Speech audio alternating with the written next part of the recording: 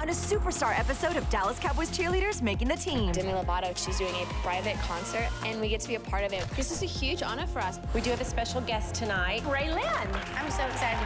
Dallas Cowboys cheerleaders. They're so much fun. And later. We're aware of some situations. Specifically, the part of our contract that says no fraternizations with players. So our choice is, do we cut you? A new episode of Dallas Cowboys cheerleaders making the team, Thursday at 10, 9 central, followed by I Love Kellie Pickler on CMT.